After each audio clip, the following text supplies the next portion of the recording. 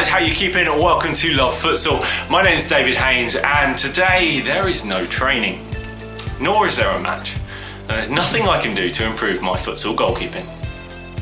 Ah, no, no, no, David, that's where you're wrong. Fantastically, there is certainly plenty we can do without the use of facilities or training partners or anyone to really help us. We can work on the greatest instrument that we own, and that's our own bodies. I'm gonna run a series of videos from now um, alongside my usual content with goalkeeping advice to focus on core muscle groups.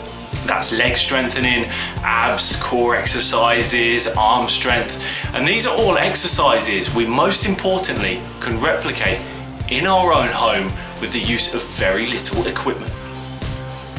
So today we're going to focus on our core strength. This is the muscle group in our abdomen, our lower back and pelvic area. This has so many benefits on the court as a futsal goalkeeper, but also off it in day-to-day -day life. It will improve our balance and stability. It will also lead to a better and stronger posture. It will help reduce back pain if you do currently experience that, or reduce the chances of back pain in the future. Also, with regular training, it will help you look great with your top off. Ever wanted that six pack? But joking aside and more seriously and relevant to us futsal goalkeepers, it will improve our game. It will do this by enabling us to do the techniques that we need to do. It will help us recover quickly, say when we're on the floor and after we've made a save. Having that core strength will, yeah, as I said, improve our game immensely.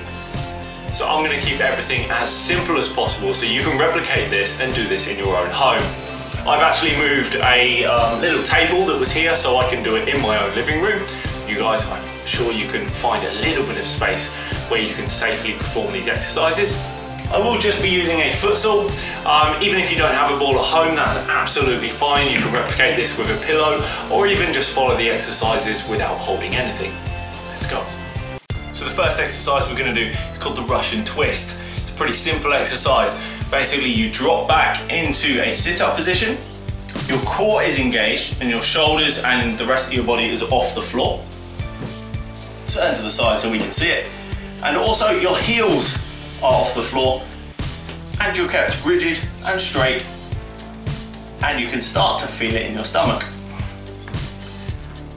Then we grab the futsal and we touch it from either side of our body, keeping our body as straight as we can. And the only thing we're rotating is the center part of the body, thus using this muscle. Try not to swing your legs too much with this exercise as it's quite easy to uh, lose control and lose form and therefore it's not working the muscle as it should. What we do, we keep this up for 20 seconds and we do as many touches as we can either side.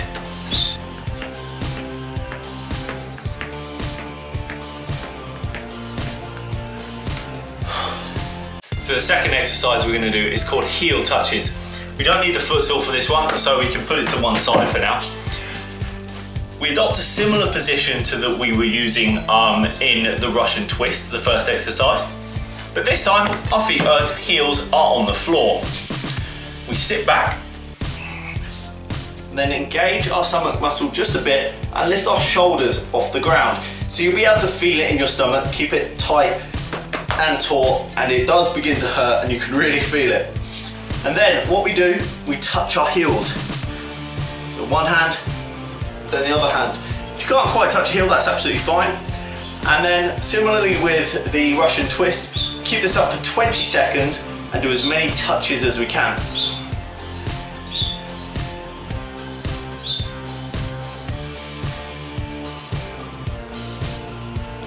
You can really start to feel it in your stomach.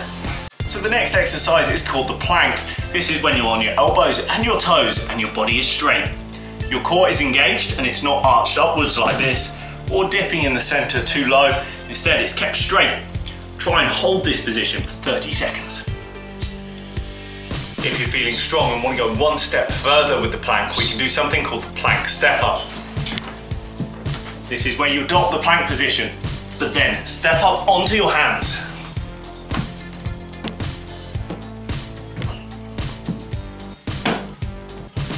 do it slowly and deliberately to avoid injury. You don't want your hands to slip, otherwise your nose will hit the floor. But this is a wonderful exercise because it engages all the muscles to keep the rest of your body stable whilst lifting yourself up and moving. Incredible exercise, worth a try. So the next exercise is called bum raises. Funny name, but great exercise. You lay on your back, nice and flat, and your arms either side of you to keep balance. Put your legs in the air, and you lift your bum off the ground.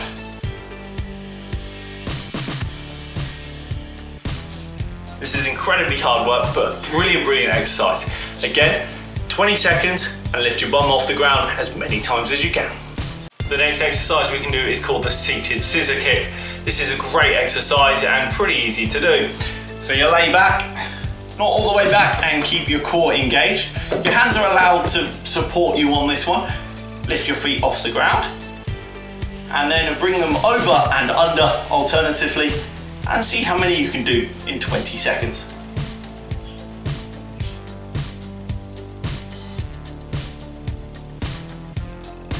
That certainly doesn't feel like a day off for me. As you can see, that's a fantastic set of exercises to work on at home in your own time and improve your core strength, which will ultimately all begin to affect and improve your futsal goalkeeping. Thank you for watching. Safe hands everyone. Stay tuned. Um, I plan on doing leg exercises, arm exercises, probably more core strength ones, and basically a whole bunch of different stuff that we can work on without the use of equipment, without the use of teammates, that we can do at our own home, at our own time. So again, safe hands everyone, and I'll see you next time. Thank you for watching guys, I really do appreciate it. Please subscribe if you want more of my face and more Love Futsal content. Um, up here I have a playlist of best goals and saves and also a playlist of tips and advice for all you futsal goalkeepers out there. Safe hands guys, see you later.